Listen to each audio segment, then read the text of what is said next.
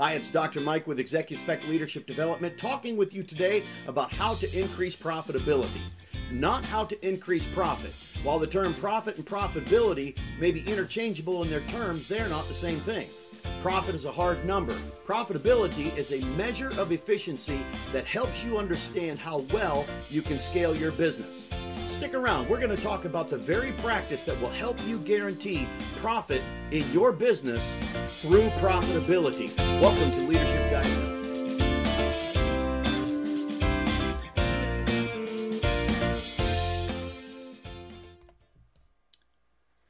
So, how then do we scale our business? How do we set our businesses up for profitability?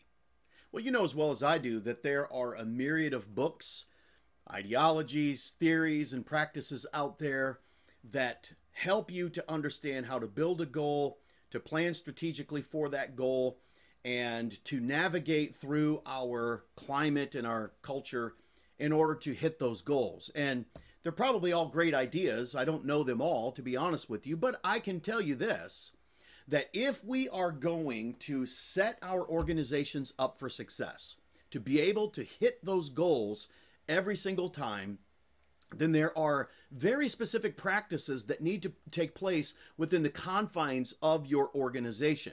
The infrastructure of your organization needs to be very healthy before it can ever grow.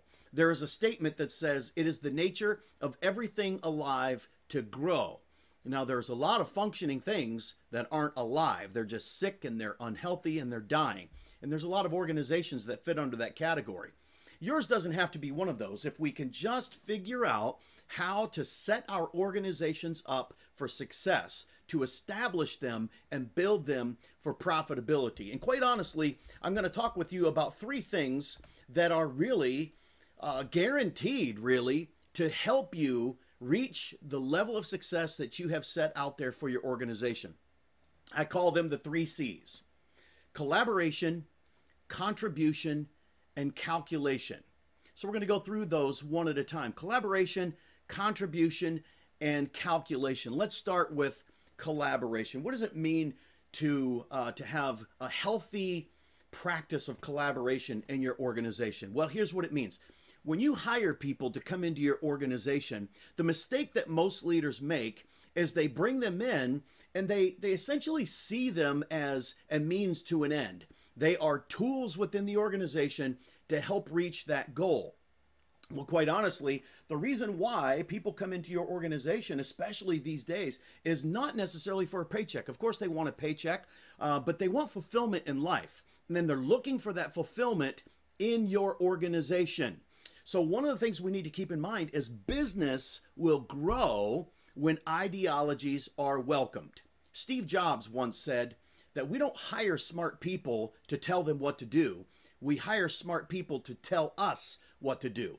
If we have problems, challenges, obstacles in the way of our organization, it really it really benefits the organization and is incumbent upon the leader to bring the team together and say, how will we together as a team overcome these obstacles. People feel valued when their ideologies and their creativity is is uh, looked at as valuable for the progression of the organization. One of the tricks about this that really proves to be difficult over and over and over again is something that deals with our personalities. Uh, we all know that you're either an introvert or an extrovert, but I don't know if you knew this or not, but extroverts dominate the leadership roles. There are more extroverts as leaders than there are introverts. And one of the interesting thing about the personality of an extrovert is we, and I'm one of them, we tend to like our own ideas and we struggle with welcoming other ideas. This is a challenge that leaders are going to have to overcome if we're going to set our organizations up to be profitable, to be successful. We need to bring in the workers that we have hired based on the value that we believe that they're going to bring to the organization, and we need to collaborate with them. We need to let them bring their ideas in, share how they would do it. What what would you do to to uh, overcome this obstacle? Once workers feel like they are valued by their intelligence, their ideologies, and their creativity, they will stick with your organization. They will overcome the worst of storms and the worst tragedies that could strike your organization, and they'll stick with you out of loyalty. That's how we build loyalty. It begins with collaboration. Now, the second thing that has to happen, the second C, is the contribution C.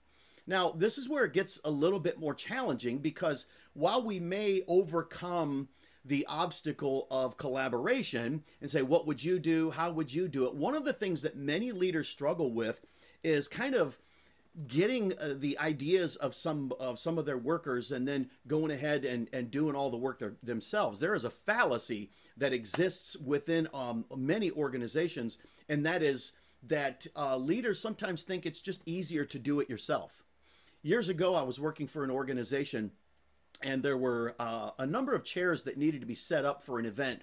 And my boss said, Mike, I want you to get a hold of this guy, this guy, this guy, have them come in and set those chairs up for this event. Well, I happened to be there and there weren't that many chairs. And I just looked at the number of chairs and, and I said, you know, it would be easier. I could get it done in probably 30 minutes. And as he was walking out, he stopped and he turned around and he looked at me and he says, Mike, I'm certain that you could get it done in 30 minutes. But these men need to be needed we need to show them that they are valuable and that they play a part. You see, sometimes we think we're burdening people with responsibility, but delegation is so important within organizations. If we are going to if we're going to build the team that we need within our organization, then we have to ignore the temptation to say, well, it's just easier to do it myself. The other temptation that leaders fall into is sometimes we kind of believe that the only way it's going to get done right is if I do it myself. You've probably heard that before.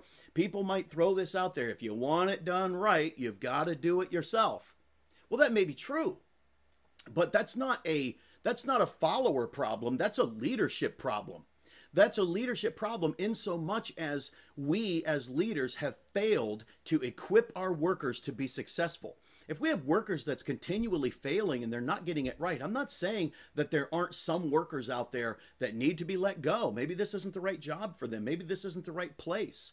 But for the for the most part, the majority of our workers, they are depending upon us to equip them to be successful, to help them, show them what where where they're uh, where they can do the job better. Sometimes it really involves just letting them fail so that they can learn these valuable lessons. Let's face it the greatest lessons you and I have learned in our lives didn't come out of victory and success, they came out of failure, didn't they?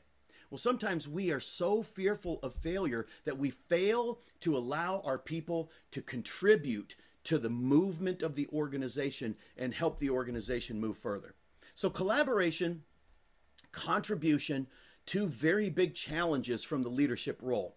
The final C that you need to practice within your organization that will help your organization be profitable and hit its goals every single time is what's called calculation.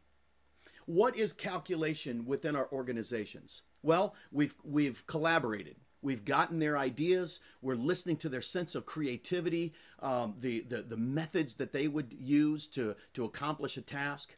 We've delegated. We've given them responsibility, and now they're contributing to the organization. One of the places where many leaders fall short is they fail to help their workers see how successful they have been and what they're actually contributing to the organization to help the organization move forward.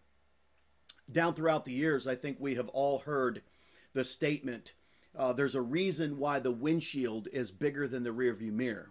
And in many cases, that's a true statement to consider, in so much as it's it's far better to be forward thinking than it is backward thinking. We want to be looking ahead and not behind from the days of how great it used to be, or so we think. But when it comes to workers being able to measure their contributions and how well they're doing, the rearview mirror is bigger than the windshield. Workers need to see how far they have come leaders sometimes fail in bringing a worker in and saying, I just want you to know that what you did was just absolutely fantastic. I would have never done it that way. I would have never thought of that. Sometimes we fail to give the accolades and the praises that our workers need. But not only that, sometimes organizations can fall into the trap of the ambiguity uh, of the ambiguity of helping the workers in the organization really see how the organization is advancing. Giving financial reports or giving success reports or or expansion reports or how many new clients we've we've gained.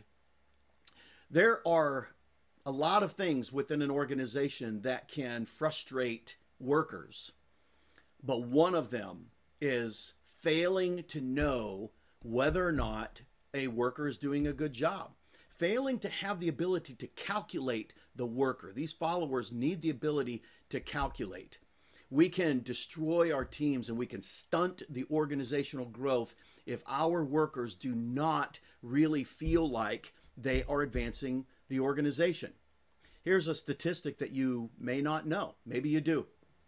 50% of workers will be looking for another job within the next couple of months. I want you to think about that. Half of your workers, half of your workers are contemplating getting another job and leaving where you are at. People will stay at a job because they believe that their leader believes in them. The leader looks to them for ideas and he collaborate he or she collaborates with those workers. They delegate responsibility so the workers can have contribution to the movement of the organization, giving them the uh, the authority to make decisions and to use their own sense of creativity. Let them contribute to the advancement of the organization but then always coming back and giving them a sense of measurement on how they are doing as a person and how and what they are doing to help the organization move forward. Well, I want to thank you for spending this time watching this uh, this edition of Leadership Diagnosis. Uh, once again, I am Dr. Mike, and my goal is to really look into your business and surgically uh, do the healing to help your organization reach the goals that it has set out for itself. Find us on Facebook and LinkedIn. Visit our website at execuspec.com and reach out to us at info at execuspec.com and let's see if there's something that we can do to help your organization. Well, once again, thank you for being with me today, and I'll see you on another episode of Leadership Diagnosis.